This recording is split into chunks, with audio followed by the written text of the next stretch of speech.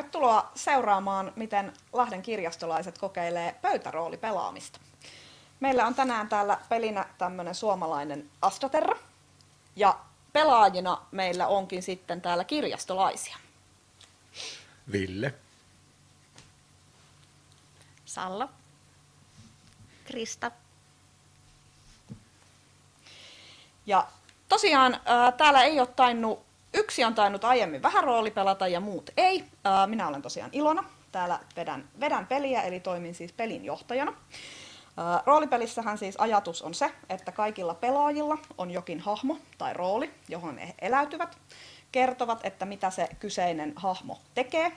Minä pelinjohtajana sitten kerron, että mitä muussa maailmassa tapahtuu, mitä tulee vastaan, ja aina välillä heitetään noppaa ja vähän katsotaan, että onnistuuko joku, mitä yritettiin, vai eikö onnistu. Ja tosiaan Astraterra on tämä meidän tämän päivän peli. Se on tämmöinen tieteisfantasia seikkailu, ihan suomalainen. Se sijoittuu Astraterran maailmaan, joka on tämmöinen rengasmaailma. Se on aikanaan ollut renkaanmuotoinen planeetta, joka on kuitenkin jo aikoja sitten hajonnut tällaisiksi pienemmiksi kappaleiksi, jotka kiertävät aurinkoa aurinkoon siellä keskellä. Ja näiden äh, saarten välillä pystyy liikkumaan muun muassa aurinkolaivoilla. Siellä voidaan kellua siinä avaruudessa niiden välillä. Tai sitten äskettäin on löydetty uudestaan kaukoportteja, jotka näkyy tässä kannessa. Kaukoporteilla pystytään liikkumaan mistä tahansa portista toiseen porttiin äh, silmän räpäyksessä. Ongelma on siinä, että niiden osoitteita, niitä ei ole löydetty vielä läheskään kaikkia. Tässä tulevat esiin sitten löytöretkeilijät, eli teidän kaikkien hahmothan ovat Astraterrassa löytöretkeilijöitä. Heidän hommansa on nimenomaan löytää uusia portteja, mennä läpi niihin, kun ei vielä tiedetä, mitä ihmettä sieltä takaa edes paljastuu. Mutta te olette tällaisia rohkeita, mennään sinne, missä kukaan ei ole aiemmin ollut. Ja Astraterran maailmassahan on myös muita kuin vain ihmisiä, eli sieltä löytyy myös tällaisia erilaisia fantasiarotuja. Te voisitte vaikka esitellä tässä vaiheessa vähän hahmojanne, minkä nimisiä ja mitä sieltä löytyy. Okei. Mun nimi on Klikstox. ja olen druidi. Rooli on manseri. Onko se jonkin, jonkinlainen taikuri ehkä? Mm-hmm. Luo, luonteenpiirre on hajamielinen.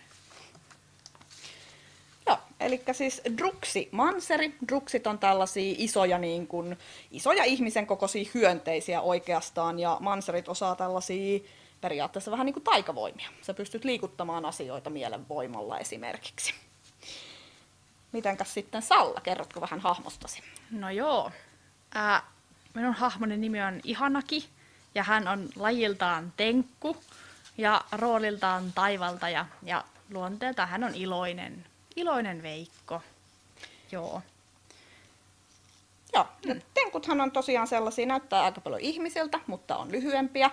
He on alun perin tämmöinen mainarikansa, joka on niin kuin mainannut äh, siis erilaisia jalokiviä ja malmeja. Nykyään he on enimmäkseen tällaista vaeltajakansaa, aika pienikokosta väkeä. He tuntee kaikki, he on tosi hyviä suunnistamaan. Sä oot todennäköisesti ollut tosi tosi monessa paikassa tässä Astraterran maailmassa. Ja sulta löytyy esimerkiksi tuo matkasauva, josta löytyy kaikenlaisia piilotettuja juttuja. Krista, kerrotko vielä omasta hahmostasi? Joo.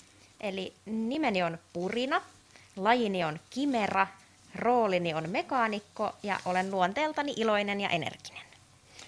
Yes, ja kimerathan on sellaisia, että niissä on ikään kuin osittain ihmisiä ja osittain jotain eläintä. Mitäs eläintä siellä oli? Minä olen puoliksi pantteri. Eli näyttää vähän niin kuin ihmiseltä, mutta kuitenkin karvapeite ja häntä löytyy ja kissanpää. Öö, sen mukana tietty myös pimeä näkö ja haistat paljon tarkemmin kuin ihmiset, koska olet sentään puoliksi pantteri. Ja mekaanikko osaa korjata vähän kaiken ja tarvittaessa rikkoa kaiken, mitä ei tarvitse korjata. Yes. Ja te olette tosiaan siis löytöretkeilijöitä. Te kuulutte Astraterran löytöretkeilijöiden seuraan. Ja sieltä seuran kautta te saatte aina välillä tietoonne tai muuta kautta tällaisia uusia porttiosoitteita. Kaikilla kaukoporteilla on oma osoite, vähän niin kuin puhelinnumero. Ja niitä porttiosoitteita ei vaan tiedetä, mutta aina välillä niitä löydetään. Ja sitten pitää lähettää joku seurue sinne, että pistetäänpäs toi porttiosoite siihen porttiin ja sitten mennään. Toiselta puolelta voi löytyä suunnattomia rikkauksia tai sitten suunnattomia vaaroja. Mutta sehän ei teitä haittaa, te olette kokeneita löytöretkeilijöitä, te menette ettekä meinaa. Ää, olette saapuneet kaupungin laidalla sijaitsevan kaukoportin luokse. Eli kaukoportithan näyttävät suurin piirtein tältä. Niissä on kaksi tällaista isoa mustaa pylvästä. Ja kaukoportin vartija, joka sitä ohjastaa, hän ohjelmoi tai naputtelee sinne sen osoitteen. Siinä kaukoportin pylväissä on tällaisia hologrammimerkkejä, joista hän sitten valitsee tietyssä järjestyksessä teidän antaman osoitteen aina kun hän on koskettanut yhtä sellaista hologrammia, niin se rupeaa hehkumaan sinisenä. Ja kun hän on saanut sen koko osoitteen laitettua, niin siihen kahden pylvään väliin ilmestyy semmoinen pyörivä valokiekko, mikä täyttää sen koko, koko tilan siinä. Ja tehän kokeneena löytöretkeilijöinä tiedätte, että heti kun te menette siitä, kosketatte sitä edes sormen päällä, niin se kaukoportti imaisee teidät välittömästi sinne toiselle puolelle. Ja näinhän te teette kaikki rohkeasti yksi kerrallaan. Marssitte siitä läpi. Se on aika outo tunne, se tuntuu vähän ja silmänrapauksessa olette toisessa päässä. Ö, olette pimeässä. Ö, kun silmänne tottuvat hieman, tai kun kimeranne purina tosiaan näkee jo siellä aika lailla heti, niin näette, että olette suuressa pyöreässä huoneessa. Sen keskellä, jossa te olette, on tämä kaukoportti, muutaman askelman korkuisella korokkeella. Se näyttää siltä, että tämä on ollut tosi pitkään niin kuin hylätty tämä koko paikka, että siellä on pölyä, hämähäkin seittejä, kaikkialla kasvaa jonkunlaista sammalta ja sienikasvustoa ja muuta. Ää, sieltä näyttäisi johtavan pois yhdestä, yhdestä suunnasta on siis suuaukko, ää, sieltä kajastaa heikkoa valoa. Myös vastakkaisella puolella on jonkinlainen aukko, mutta se on romahtanut kokonaan, sieltä ei pääse eteenpäin. Ää, mitä te teette? Eli Purina, sun silmäsi tottuvat heti ensimmäisenä, niin mitä teet? Lähden valoa kohti. Mm-hmm. Kyllä. Eli huomaatte siitä, että mekaanikko ne lähtee jo vähän niin kuin te olette vielä sillä että mitä täällä tapahtuu, mitä täällä näkyy, mutta mekaanikko on jo menossa eikä meinaa. Seuraatteko perässä vai onko teillä vielä muita aatoksia? No, kyllä kai me nyt sinne mennään. Sitten kun nähdään jotain ja ollaan huomattu, että mekaanikko on jo jättänyt, niin sitten mennään sinne valoa kohti. Eihän, kyllä minä ainakin, joo, kyllä.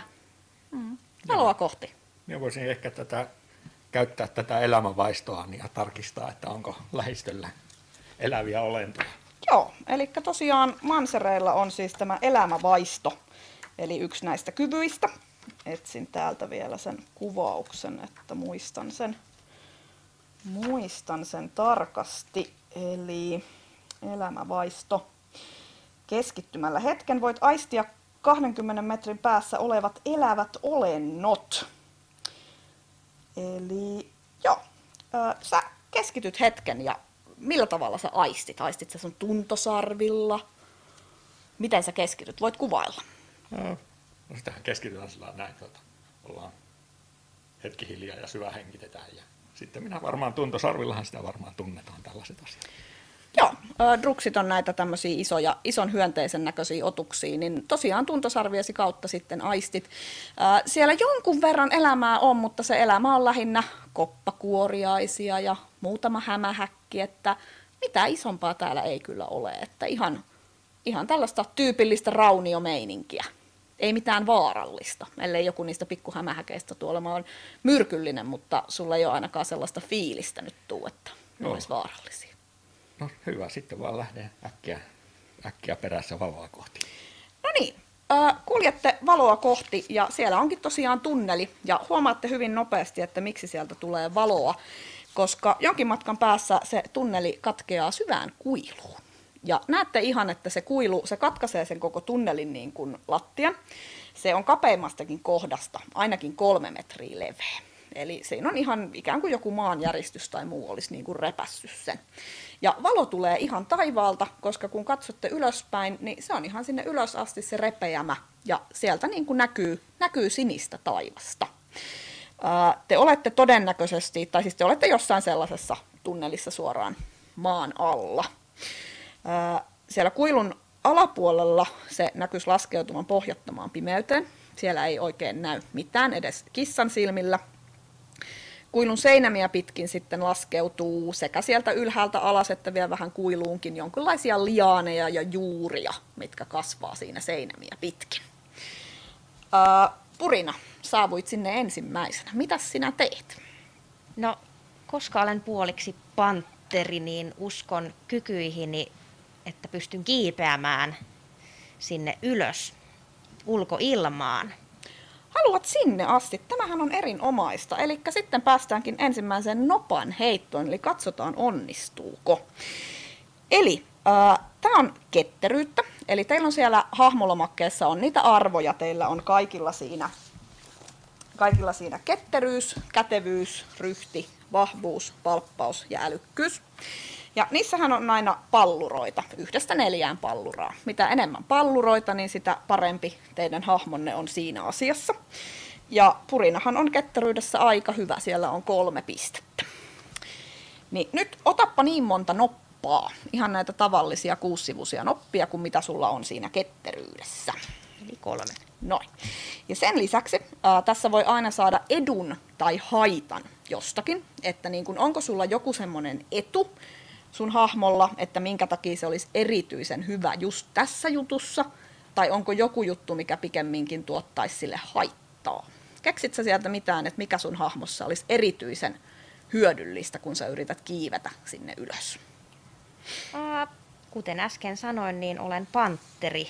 Minulla on terävät kynnet, mutta on hanskat näköjään kädessäni. Jos otan hanskat pois, niin ehkä löydän sieltä terävät kynnet, joilla pystyn takertumaan seinään ja liaaneihin ja muihin. Kyllä, erinomaista ja häntäkin vielä auttaa tasapainoilussa. Eli saat siis yhden lisänopan, eli edun. Nyt sulla on siinä neljä noppaa.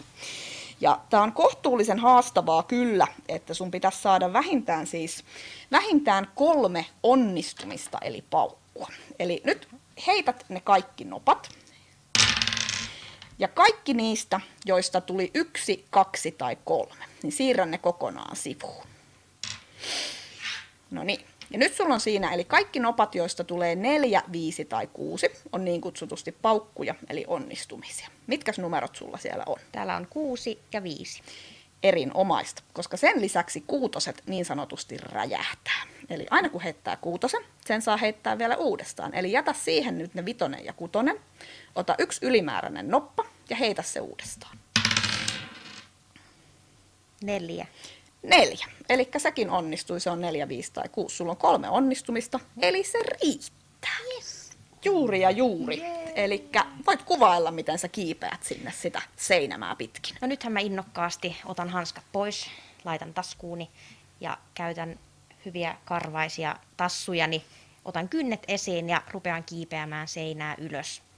Takerrun myös hännälläni siihen yhteen liaaniin ja saan siitä vähän lisätukea. Ja pääsen ehkäpä jopa sinne ylös asti. Kyllä, sä pääset aivan sinne ylös asti ja kun sinne pääset, niin toteat, että olette itse asiassa varsin pienellä saarella. Eli kuten alussa kerroin, niin Astraterrahan on tosiaan se on semmoinen renkaanmuotoinen planeetta, jossa on isompia ja pienempiä saaria, jotka kelluu ikään kuin tähtimeressä. Et niiden ympärillä on semmoinen pieni ilmakehä, eli pystyt sielläkin hengittämään. Se on ihan niin kuin olisit hyvin, hyvin pienellä maapallolla. Ja näet sieltä, että se on ihan yksinäinen tämmöinen lohkare, mikä ajelehtii siellä tähtimeressä. Nyt on päiväsaika. Maisemien perusteella se näyttäisi, että se ajelehtii se saari jossakin aika lähellä myrskyä. Eli täällä Astaterran maailmassahan täällä on tämä iso ulkokehä, missä on näitä saaria. Keskellä on aurinko ja sitten sitä ympäröi kurimus ja myrsky, mikä on tämmöinen pysyvä myrskyisä, hyvin vaarallinen alue. Että te olette aika lähellä sitä, mutta ette vielä ihan siellä asti, niin ei hätää. Siellä temppelin huipulla näkyisi olevan, että sieltä löytyy ihan ruohoa ja muuta. Sitten siellä on myös aika omituista kasvillisuutta. Siellä on kaikenlaisia sieniä, mitä sä et ole ikinä nähnyt. Ja liaanit tosiaan alkaa sieltä ihan sellaisena. Siellä on semmoinen yksi iso, mikä vaikuttaa melkein jo puulta, jonka, josta lähtee kaikki ne liaanit sinne kuilua pitkin. Mitään muuta mielenkiintoista sieltä ei oikeastaan tunnukaan löytyvän. Sillä välin te kaksi muuta olette tulleet sinne kuilun, kuilun partaalle ja toteatte, että kissahan tuolla kiipeileekin jo ylöspäin, mutta mitä te tässä tekisitte? Eli tunnelihan jatkuu sinne kyllä eteenpäin, kun kuilun yli vaan päästäisiin. Niin. No, mähän huomaan, että mulla on tommonen vaaravaisto. Ja Mhm. totean, että haluaisin käyttää sitä tutkiakseni, että voisiko sitä hypätä yli. Joo, no sä olet siinä, että sä olet aika kokenut kyllä jo siinä arvioimaan tällaisia vaaroja. Sä rupeat niin kuin siinä ihan tutkiskelemaan, että no miten, että okei. Hyvin syvä koilu, tonne ei kannata ehkä pudota. Se näyttää ihan oikeasti pohjattomalta. Tai oletettavasti siinä on pohja, koska muuten te putoisitte toiselta puolelta myöskin sinne, sinne avaruuteen. Kyllä sä arvioit, että tästä voisi ehkä päästä, että sä oot aika pienikokoinen tenkkuna, niin toteat, että sulle ainakin olisi turvallisempaa yrittää kiivetä ehkä siitä seinän niiden juurien ja liaanien avulla, koska sun on tosi vaikea saada niin pitkää hyppyä, että siitä suoraan pystyisi menemään mitään erityistä vaaraa, että se muuten aisti kuin se, että pohjattomien kuilujen yli hyppiminen on luontaisesti vaarallista.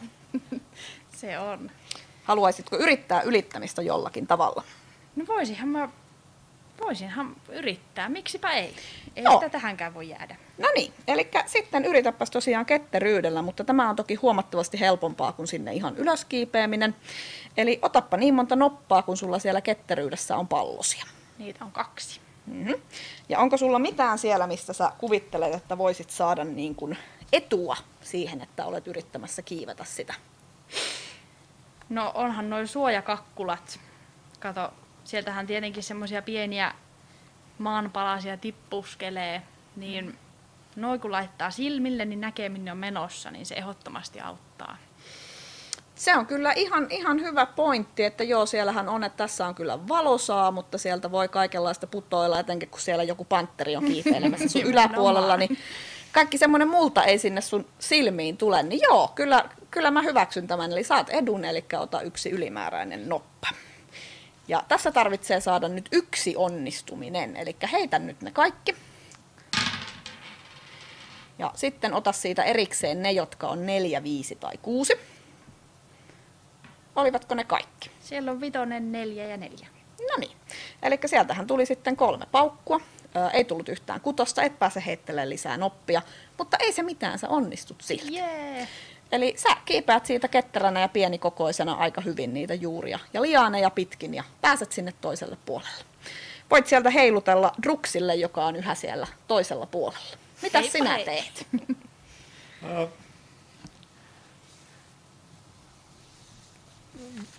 mm, No, eiköhän mulla on kuitenkin lisää, lisää raajoja, niin kyllähän minäkin varmaan siitä pääsisin Joo. kiipeämään.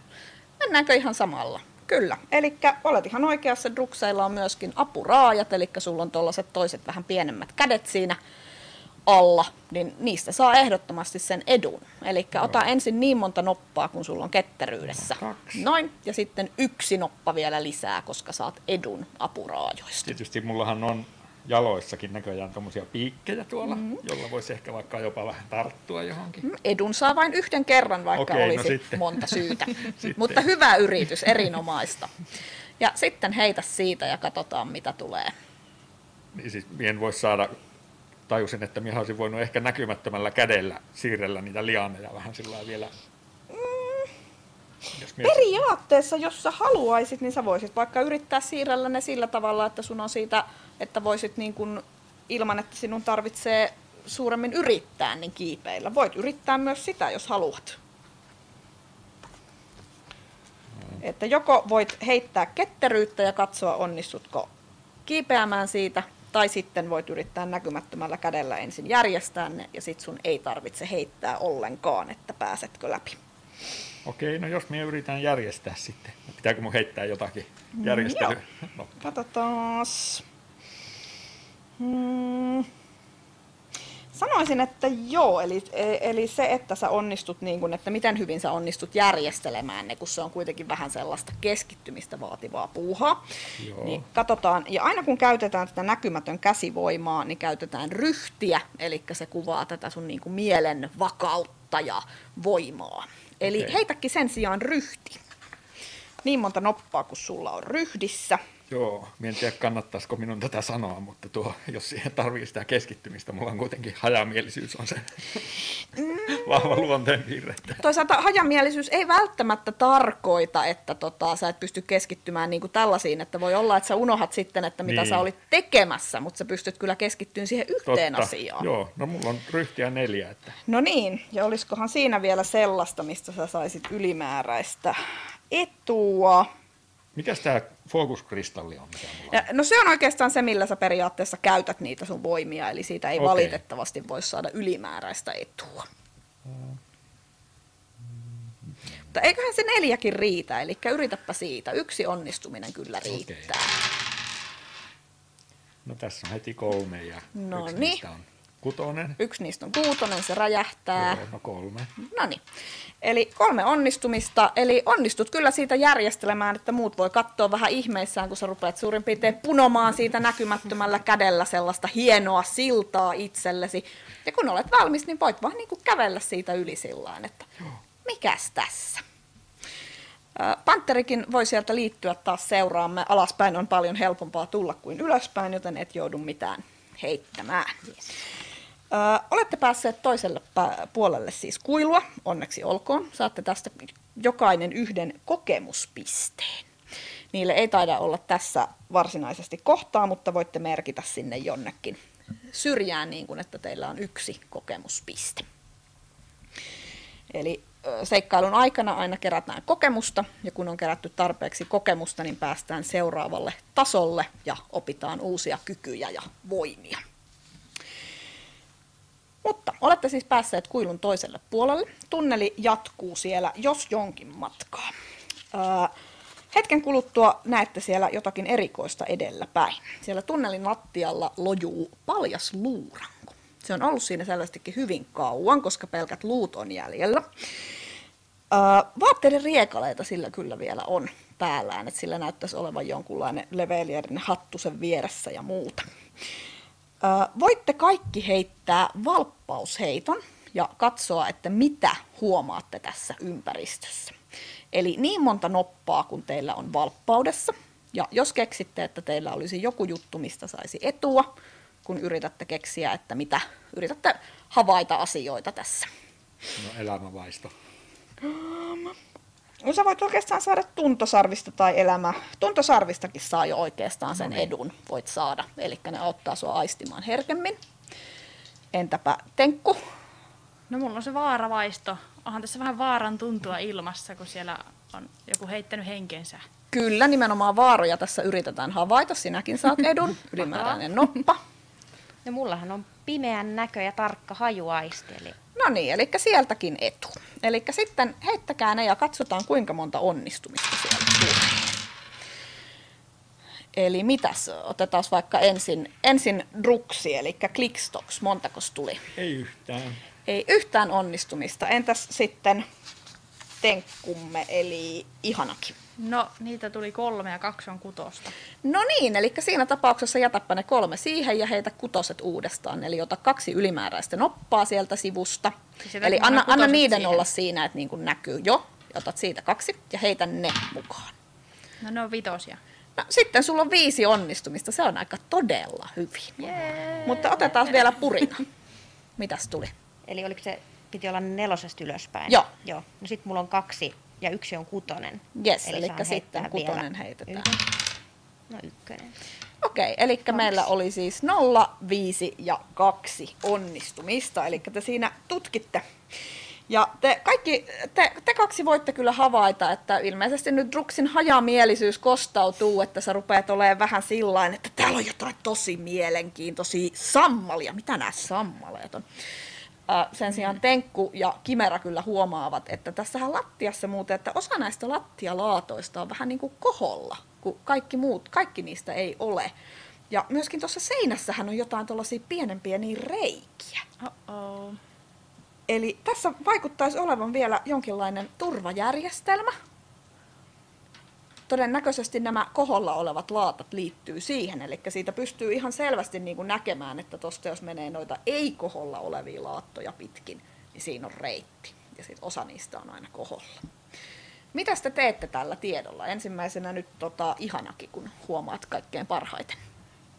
No, en mene sinne suuna päänä, vaan Mhm. tutkin asiaa. Joo. Otan nämä minun taskukiikarit mm-hmm. ja Mhm. katselen vähän tarkemmin, että onko se tosiaan niin, että ne koholla olevat on nyt niitä pahoja vai olisiko ne ehkä jopa ne alhaalla olevat, että onko ne sittenkin niitä, koska nehän saattaa olla myös painunut alas ja mietin, että se voi olla kohtalokasta, jos astumme. Tämä on erittäin hyvä ajatus. Mitäs mieltä Purina on? No mähän ajattelin heti, että mä haluan nyt testata tätä, en kene- kenelläkään, vaan mulla on oma työkalulaukku, josta löydän yhden ylimääräisen semmoisen työkalun, mikä ei ole kovin tarpeellinen. Mm-hmm. Ja mä päätän, että mä haluaisin heittää sen työkalun sellaisen yhden laatan päälle, että näkisi mitä tapahtuu. Joo, heitätkö sä sen sellaisen koholla olevan päälle vai... Koholla olevan päälle. Joo. Kyllä. Sä pääset niin lähelle, että ei tarvitse heittää, että osutko, että se on ihan semmoinen tolloinen. Sä heität siihen ja sehän tosiaan, se painuu alaspäin, kuuluu semmoinen hyvin, hyvin hiljainen naksahdus. Ja sitten molemmilta puolilta seinistä ampuu siis viisi nuolta sillä keskelle suunnilleen siihen, missä se luuranko makaa. Eli kyllä, nämä ovat todellakin ansalaattoja, jotka sitten aiheuttavat sen, että sieltä nuolia tulee. Mitenkäs tästä päästäisiin toiselle puolelle? Niin, mitä Indiana Jones tekisi. Hmm. Mitä jos tuota, kokeiltaisiin, kun mulla on tämä näkymätön käsi, Mm-hmm. niin minä voisin siirtää sitä sinun esinettä. Vaikka niille kaikille laatoille ammutaan kaikki nuolet sieltä pois, niin ei vahingossa kompuroida. Mutta onko niitä useampi siellä? Oliko niitä useampi? Niitä laattoja? on siinä useampi, että niitä on semmoinen kahdeksan, mitä pystytte tästä havaitsemaan, mitkä on koholla ihan selvästi. Vai mutta pystyisikö ne helposti väistämään niin, että tuota, Ne pystyy myöskin väistämään, kunhan vaan, kunhan vaan vähän katsoo, mitä tekee, niin se on täysin mahdollista väistää. Niin kuin, eiköhän se ole mahdollista periaatteessa, että siellä seinässä voisi olla enemmänkin niitä nuolia. Mm-hmm. Voidaanko me olla varmoja, että sillä on vain yksi per reikä? Niin, ei voida. Että olisiko se kuitenkin ehkä parempi kokeilla hyppiä? Tai astua ehkä, jos ne on niin lähellä toisiaan, että Joo, voi ihan... ne on sellaisia niin kuin isoja, ajatelkaa sellaisia isoja kiveyslaattoja, mitä on. Mm. Niin kyllä, te pystytte siitä kyllä ihan niin kuin, että yri- yritätte mennä niitten ohi, eli sitten ketteryydellä oikeastaan, eli heittäkää kaikki ketteryyttä. Jos saatte yhdenkin onnistumisen, niin pääsette siitä. Auttaako apuraajat? Apuraajat auttaa tässä, joo. Sä Entä pystyt pieni koko? tasapainosi paljon. Kyllä, sun on paljon parempi, helpompi pitää tasapaino, koska olet pienikokoinen. Ja ki- kissalla taitaa Olen olla edelleen se häntä siellä mukana, että tota, häntä on tasapainottava elementti. Heittäkää vaan. Ja yksikin onnistuminen riittää. Nolla. Mitä tuli? Ei yhtään. Ei yhtään onnistumista. Voi ei. Oi ei. Mulle tuli yksi. Se riittää. Kyllä. Äh, eli te muut onnistutte siitä kyllä niin kuin ketterästi menemään, mutta kissalle saattaa käydä niin, että liika itsevarmuus nyt kostautuu, koska kyllähän tästä nyt pääsee ja voi vähän tanssahdellakin, mutta ei, ei se nyt niin, että sitten sä vahingossa ihan siinä niin kuin horjahdat ja tassusi asu, osuukin vahingossa siihen yhdelle, yhdelle näistä tota, kohoideista laatoista. Kuuluu semmoinen naks ja sulla on ihan sekunnin murtoosa aikaa reagoida, kun sieltä lähtee tulemaan niitä nuolia. Mitä sä teet? No, minähän hyppään äkkiä matalaksi. Sinä maastoudut. Kyllä. Heitäpä uudestaan ketteryyttä, että miten tämä maastoutuminen onnistuisi. Voinko... Ei se onnistu. Eikö yhtään tullut? Ei. Voiko auttaa? Joo, oliko siellä ehdotuksia? No, jos minä näkymättömällä kädellä heitän sen nuolen takaisin sinne, mistä tulikin. Joo, sieltä, sieltä on tulossa useampi nuoli, mutta sä voit ainakin pari niistä yrittää. Sitten oikeastaan kyllä heitä ryhtiä. Tämä on sen verta, sen verta nyt reaktiokykyä vaativa Joo. homma, että Neljä. heitä ryhti ja vähintään kaksi onnistumista, niin saat ne nuolet siitä. Näkymättömällä kädellä. No siinä on kolme. Kolme onnistumista. Erinomaista. Eli Purina yrittää väistää, on sillä niin kuin, että ensin kuuluu naks, sä oot se, semmonen niin kuin peura ajovaloisilla, yrität maastoutua, mutta ei, sit sä vaan niin kuin kompuroit siinä, mutta onneksi näkymätön voima tulee ja pyyhkäisee kaikki ne Ai että. nuolet siitä sivuun. Kiitos. Sä onnistut kyllä loppujen lopuksi kaatumaan siitä persuksillesi sen luurangon viereen. Ei ihan turhaa sinänsä kuitenkaan. Et jos katsot sitä luurankoa, niin silloin sellaiset nahkarotsi ja muu, mikä on jo aika lailla hajonnut. Silloin myös mukanaan kuusi kultarahaa, ö, hopeinen tai tämmöinen jalohopeinen riipus, mikä näyttää tosi erikoiselta. Se näyttää siltä, että se on ehkä muinaisten teknologiaa tai tämmöinen. Muinaiset on kansa, joka asui Astroterrassa silloin, kun se oli vielä kokonainen, semmoinen rinkulan muotoinen. Lisäksi sen kädessä näkyisi olevan vielä ihan käyttökelpoinen ruoska ja lierihattu. Haluatko ottaa jotain näistä tavaroista mukaan? Haluan tietysti, koska olen mekaanikko, niin haluan ne kolikot ja sitten sen erikoisen esineen. Voinko mä ottaa kaiken? Sä voit ottaa Hyvä, mä kaiken. haluan kaiken, koska ikinä ei tiedä, mitä tulee tarvitsemaan tässä. Tämä on erittäin, tämä, tämä on niin kuin hyvä kaikissa sekä videopeleissä että pöytäroolipeleissä ymmärtää. Kaikki otetaan mukaan, mikä irti lähtee.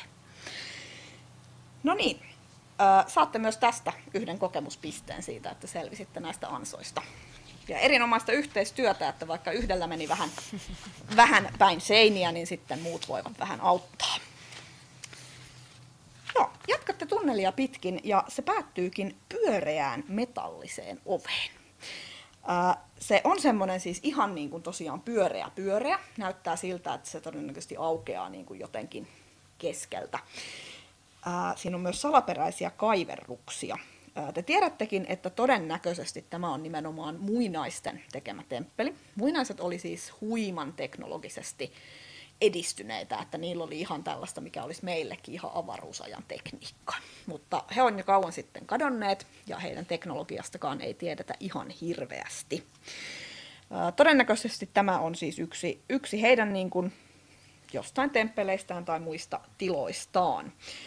Haluaako joku teistä yrittää lukea niitä kaiverruksia? Osaisikohan joku teistä tätä muinaisten kieltä? No, mulla vissiin sattuu olemaan tietokirja mukana just tästä Sattuuko sun tietokirjasi olemaan juurikin muinaisten kielestä? Kyllä. Näinhän täällä lukee. Varustuksenasi on tietokirja, jonka voit tässä vaiheessa päättää, että se on muinaisten kielen. Eli sitten heitäpäs vielä älykkyyttä, ja sä saat edun siitä, että sulla on tosiaan se kirja Kolme, mukanasi. eli neljä. Yes. Ja kaksi onnistumista pitää saada, että onnistut ihan täysin sen lukemaan. Yksi. Yksi. No ei se mitään, sä onnistut kuitenkin sen verran, että joo selvästikin muinaisten kieltä, ja jotakin siinä siis puhutaan kaukoportista. Ja tota, tosiaan kaukoporttia,han te tulitte siis tänne yhdestä kaukoportista, mutta se ei välttämättä aina toimi sitten toiseen suuntaan, ennen kuin on löytänyt tällaisen ö, kaukoportti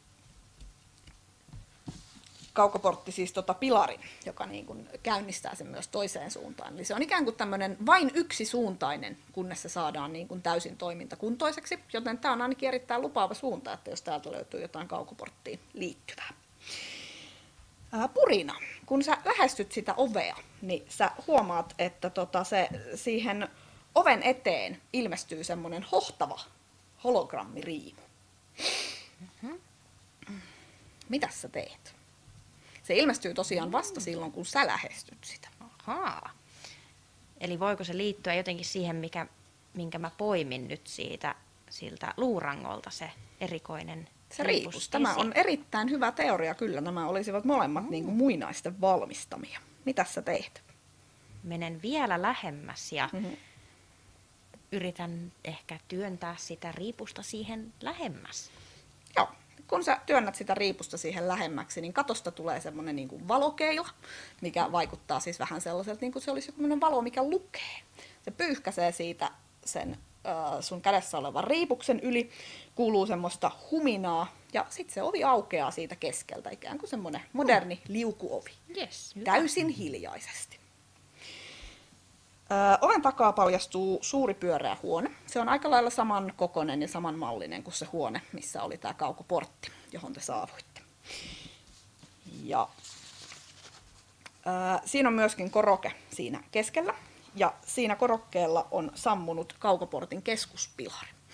Eli tosiaankin tämä kyseinen kaukoportti ei valitettavasti vietteitä takaisin ennen kuin olette saaneet tämän keskuspilarin uudelleen kuntoon. Ovea vastapäätä ihan siellä viereisellä, tai siis vastakkaisella seinällä, siellä näkyisi myöskin olevan jonkinlainen alttari, jossa on semmoinen valtava kultainen hämähäkki, patsas. Ää, Se on siellä ja myöskin patsaan edessä näyttäisi olevan semmoinen suunnilleen ton kokoinen niin kuin musta lieriö, jonka te tunnistatte olevan keskuspilarin osa, joka puuttuu siitä todennäköisesti, kun se on pois päältä. Ja se alttari, jolla tämä kultainen hämähäkkipatsas on, niin se on ihan pölyn peittämä myöskin. Ja sen ympärillä on kaikenlaista muuta arvokasta esineistöä. Et se ei ole mitään muinaisten. Tämä vaikuttaa jopa vähän siltä, että tämän, tähän tem, tämän paikan on ehkä vallannut sit myöhemmin jotkut vähän alkukantaisemmat, jotka on sitten pitäneet sitä temppelinä, tuoneet sinne kaikenlaisia arvolahjoja tälle kultaiselle hämähäkille ja niin edespäin. Ää, mitäs te teette? Aloitetaanpa vaikka, vaikka Druksista, eli mitäs Clickstocks tekee? Niin, himottaisi mennä heti kahvimaan kaikkia aarteita, mutta pitäisi ehkä vähän tutkia ensin, että, että onko, tota, onko siellä jotain ansoja, kun niitä oli tuossa matkalla. Tämä on ihan erittäin hyvä. Eli voit heittää... Ihanalla taisi olla se vaarahaistikin. Joo, eli se jos haluatte tutkia täältä sillä. ovelta käsin seisten, että onko täällä jotakin vaarallista tai muuta, niin voitte heittää valppauden. Eli niin monta noppaa kun on valppaudessa, ja jos siihen katsoo saavansa jonkun edun, niin kertokaapa. Eli kaikki heitetään. Kaikki, jotka haluaa tutkia, onko siellä vaarallista. No tuntosarvet kaikki. Joo. Kyllä tuntosarvista voi saada, vaaravaistosta voi Kyllä. saada, ja eiköhän tarkoista aisteistakin. Kyllä. Katsotaan, mitä sieltä tulee. Nyt, nyt Taas huokaus, jäädä miettimään muuta. joo, huokaus oli niin syvä, että siellä kyllä. Yksi, yksi, kaksi.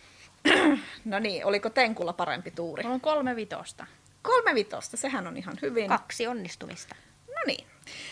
Eli te sieltä huomaattekin sitten, tai katselette ja ootte sillä tavalla, että joo, täällä ei ole nyt kyllä liikkunut mikään pitkään aikaan, että tämä on kyllä ihan pölynpeittämää ja sillä että mitään sellaista ulkopuolista vaaraa täällä ei ole. Ette näe myöskään mitään tällaisia vaaran paikkoja, mitkä voisi näyttää ansoilta. Ää, Tenkku, sä olet ollut ennenkin muinaisten paikoissa, niin tämä näyttää sun mielestä kyllä sellaiselta tilalta, että sit jos on tänne päässyt, niin muinaiset on odottanut, että täällä on niin kuin, että tänne pääsee vaan ne, joilla on asiaa. Eli ei ole mitään syytä laittaa tänne ö, ansoja. Mutta sen sijaan ö, Purina rupeaa kuitenkin miettimään, että miksi täällä on tommonen kultainen hämähäkki, koska ei, ei niin kuin muinaiset ollut tunnettu mitenkään siitä, että ne tekee patsaita. Sen sijaan se, mitä muinaiset kylläkin teki, on elokoneita, mitkä oli erittäin kehittyneitä robotteja. Oo. Ja minähän mekaanikkona olen kiinnostunut tällaisesta, eli Mm. menen varmaan katsomaan sitä hämähäkkiä nyt sitten vähän tarkemmin. Lähde tutkimaan sitä hämähäkkiä sillä lailla varovasti. Kosketko mihinkään muuhun siinä? Ö, Haluaisin kyllä koskea siihen portin, siihen osaseen ja viedä sen siihen porttiin kiinni ja alkaa korjailemaan sitä myös. Mm. Mutta kiinnostus hämähäkkiin vie ehkä voiton ja saatan ottaa sen käteeni. Joo, tai siis hämähäkki on siis nimenomaan valtava. Nyt puhutaan. Se ihan- on niin iso. Kyllä, se on semmoinen lähes koko huoneen korkuinen. Herranen aika. No tutkin sitä sitten siinä lähemmin. Saatan vähän myös hipelöidä Joo, menet sitä pintaa. tutkimaan ja pikkusen hipelöit ja kyllä se ihan selvästi tämä on muinaisten teknologiaa. Tämä on valtavan hieno elokone. Sillä on kahdeksan jalkaa ja sillä on kahdeksan silmää ja se on ihan oikean hämähäkin näköinen. Minulla on siitä täällä kuvakin. Kunnes toteat, toteat myöskin, että sen hämähäkin selässä on kyllä jotakin, mikä ei välttämättä yleensä hämähäkeillä ole. Se näyttää jonkinlaiselta plasmakanuunalta. että se ei ole täällä varmaankaan ihan, ihan pelkkää niin kuin, tota, koristusta varten. Että tämä, tämä saattaa nyt olla sit se, mikä loppujen lopuksi on se, että jos tänne sattuisikin pääsemään joku asiaton, niin hämähäkki ehkä hoitelee sen. Se hämähäkki ei kuitenkaan osoita mitään elonmerkkejä, vaikka sä sitä vähän varovasti koputteletkin. Mitäs, mitäs te muut teette sillä välin, kun hän sitä koputtelee? No, mä nyt ehkä lähden siltä lähtökohdalta, että katellaanpa miten käy tälle Porinalle. Hän on kuitenkin tässä meidän retken aikana tälle itsekseen lähtenyt reissuille muutenkin, niin sitten ehkä seison sillä ovella. Ehkä menen katsomaan sitä porttia tarkemmin siinä vähän silmäilemään, että puuttuuko sieltä jotain muuta. Joo, eli kaukoporttien keskuspilari tosiaan se näyttää aika paljon samanlaiselta kuin ne itse portit, sillä erolla, että siinä on vain yksi ja jykevämpi pilari. Ne on yleensä sellaisia kuuskulmaisia. Mutta sekin on semmoinen, ei nyt ihan huoneen korkunen, mutta aivan pikimusta. Se on jotain sellaista aineesta, mitä muinaiset osas tehdä, kukaan ei tiedä mikä se on. Ja siinäkin sä pystyt tuntemaan, että siinä on niitä samoja kaiverruksia, joita löytyy porteista, mutta ne ei vaan ole päällä. Ja sieltä löytyy ihan jonkin aikaa tutkittua, niin siellä on ihan semmoinen luukku, mikä niissä usein on, josta että siitä on irrotettu se tota, kartta-avain, eli se osa, osa, mikä on sitten asetettu tuonne alttarille. Et sikäli kun sä tiedät muiden matkojen perusteella, niin sen kytkemällä se toivottavasti lähtee päälle. Mm. Mitäs Clickstocks? No, katselen ympärilleni ja tota, kyllä ne aarteet himottaa sen verran, että ehkä täytyy vähän niitä siirtää. siirtää. Ei mulla ole kyllä mitään, kai mulla nyt joku kassi on. On teillä joku reppu jo, vaikkei sellaista Niitä voi sinne. vähän siirrellä sinne ja tota, Joo, sieltä löytyy kaikenlaisia hienoja niin kuin kullasta ja hopeasta tehtyjä lautasia juomapikareita.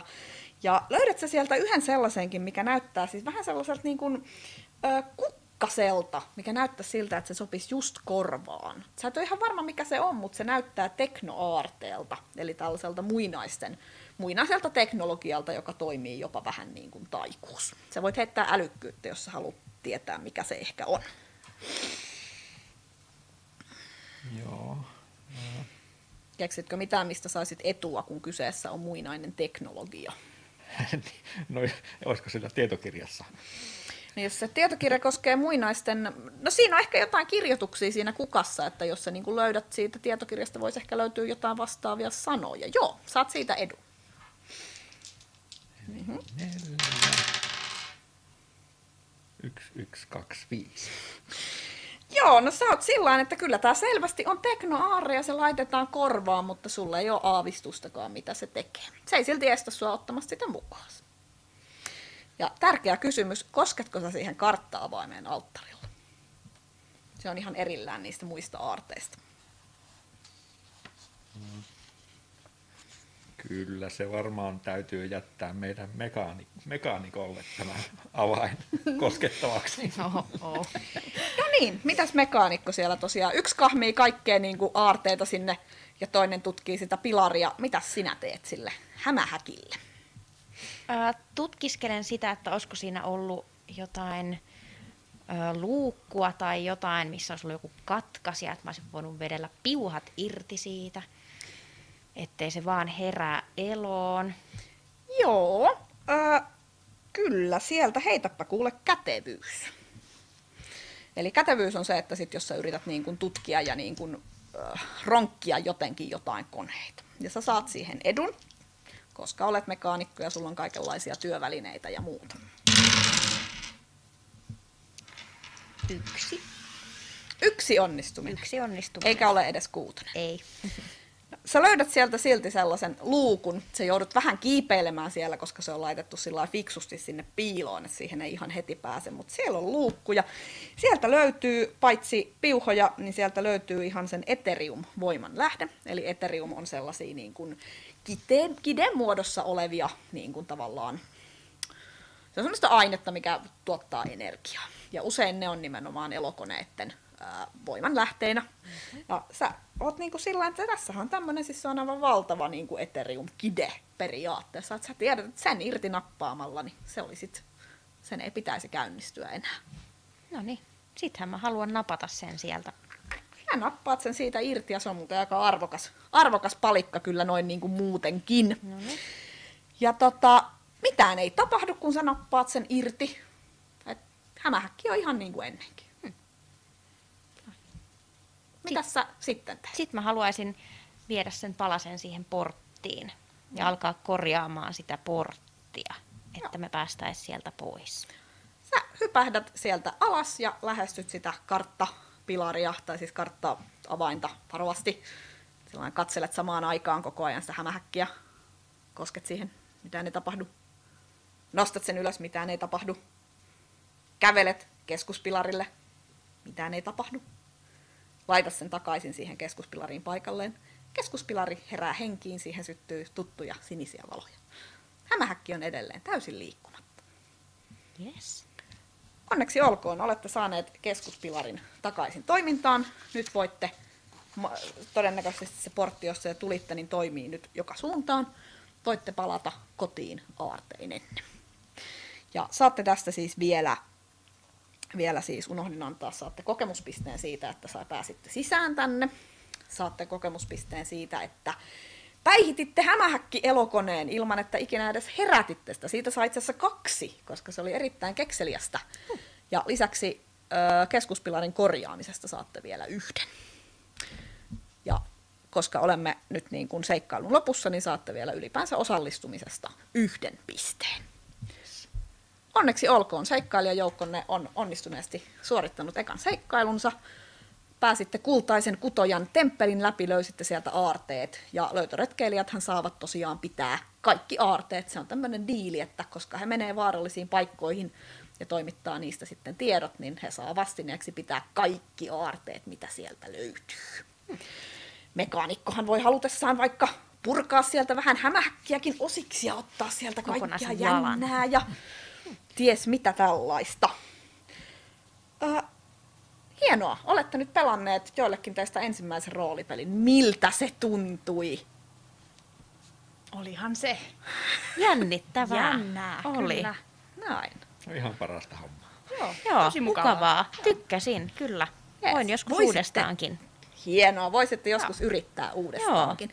Koitetaan järjestää tämä. Kiitoksia erittäin paljon. Kiitos.